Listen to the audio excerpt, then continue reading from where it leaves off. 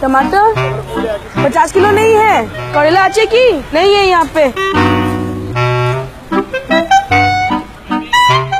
लौकी है। शिमला मिर्ची अच्छे। चालीस किलो होगा। गाजर तो तुम्हें दे रहे हो चालीस किलो। इतनी सब्ज़ी का क्या करोगे दीदी? हमको रसगुल्ला बनाना है इसलिए हम तुमसे पूछ रहे हैं। रसगुल्ला?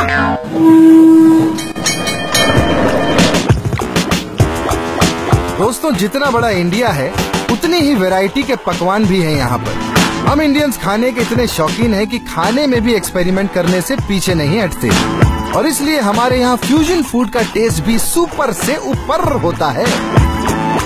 दोस्तों, ऐसा ही एक हिट एक्सपेरिमेंट मुझे लेकर आया है कोलकाता। यहाँ हुए हैं अजीबो गरीब एक्सपेरिमेंट वो भी रसगुल्लों के साथ। और एक दो नहीं, कई फ्लेवर्ड एक्सपेरिमेंट किए हैं और बनाए 270 फ्लेवर्स के रसगुल्ले। पानी और आँखों में चमक आ गई ना? वाह वाह वाह। ये रसगुल्ले देखने में जितने यमी लग रहे हैं, खाने में भी उतने ही टेस्टी हैं। और इन रसगुल्लों को नए फ्लेवर्स और टेस्ट देने वाली हैं एक्सपेरिमेंटल डेयरिंग और रसगुल्ला एक्सपर्ट शेफ स्वाति दीदी। माना जाता है कि रसगुल्लों को भोग के तौर पर जगन्नाथपुरी मंदिर में ट्वेल्थ सेंचुरी से चढ़ाया जा रहा है। जब ओडिशा और वेस्ट बंगाल के बीच रसगुल्लों के ओरिजिन को लेकर मतभेद चल रही थी उसी दौरान हमारी स्वाति दीदी इन रसगुल्लों को ऐसे टेस्ट दे रही थी जिसे खाने वाले का नज़रिया ही बदलने वाला था। एल्फेंजो वाटरमेलन ब्लैक करेंट लीची 50 फ्लेवर से मैंने लॉन्च किया स्वाति दीदी डेली 100 केजी रसगुल्ले बनाती हैं और सबसे बड़ी यूएसपी ये है कि ये रसगुल्ले बने हैं 100 परसेंट नेचुरल फ्लेवर से।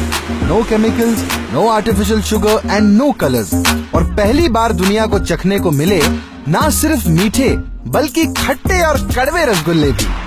जो पुष्के का जो पानी होता है, केरी पुदीना तो हम छेना में केरी और पुदीना और मसाला उसको मिला के हम छेना में मैश करते हैं और थोड़ा सा ग्रीन चिली समथिंग थोड़ा सा चटपटा हो।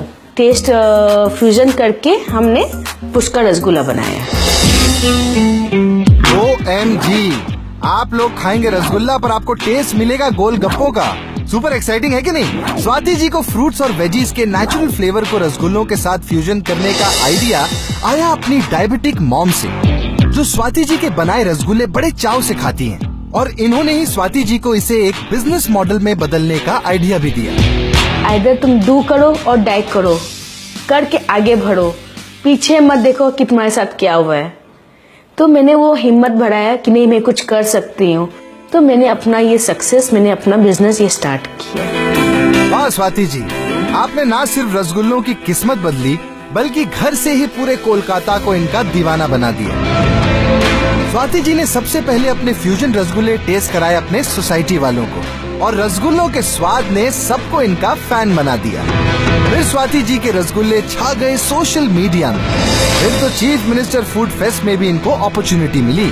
और वहाँ से मुझे इतने माइलेज और इतने कवरेज मिले उसी समय से मेरे बिज़नेस और ट्रिपल क्या फोर टाइम्स आगे बढ़ना शुरू हो गए। I am addicted to her rasgullas. Added sugar कुछ नहीं है। नेचुरल फ्रूट की जो स्वीटनेस है ये सब मिलते हैं। So even a diabetic people no matter what happens anybody can have it अभी ये सोच 270 फ्लेवर्स पे नहीं रुकने वाली। Within one year 500 flavours launch करूँगी with the only flavours of rasgulla. O M G I am sure आप कर भी देंगी स्वाति जी क्योंकि एक बार जब कोई औरत कुछ करने की ठान लेती है तो वो कर कर दिखाती है। खामोश। स्वाति जी आपके ओ एम जी फ्लेवर्ड रसगुल्ले सिर्फ़ रसगुल्लों का स्वाद ही नहीं इनका फ्यूचर भी बदल रहे हैं ये मेरा